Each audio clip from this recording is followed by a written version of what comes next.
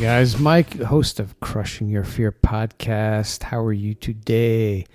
This podcast is entitled Windshield is Bigger Than the Rearview Mirror.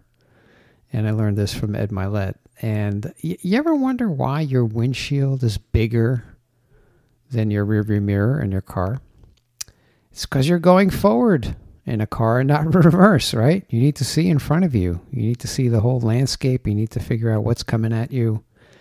So the windshield is bigger.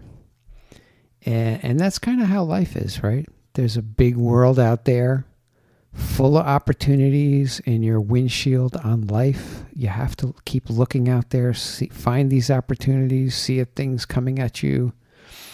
You know, you could take a quick look uh, at the rearview mirror, but only to learn, uh, you know, from what went right and what went wrong. Right? That that's the benefit of a, a rearview mirror. Uh, but uh, but focus. You know, most of your time looking forward, not looking backward. There's stuff that's happened to us in the past, and a lot of people just focus backwards. They look at what happened, what was wrong, things that happened in the past, and they live in the past, right? They can't go forward. They can't look forward, right? Stuff happens. If stuff happens in the past, you got to leave it there, right? So there's a lot in front of you.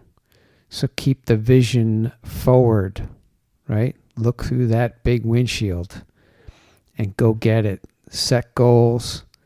Look at opportunities as they come, right? Don't look at the past. Look at the past only to learn from it, right? And not repeat it. But everything's ahead of you. Look through that windshield. That's what I got. If you need, if somebody uh, needs to hear this, please share it with them. You want to contact me, Michael at crushingyourfear.com. My book is out, Crushing Your Fear, boom, on Amazon, barnesandnoble.com. And we will talk to you soon. Take care.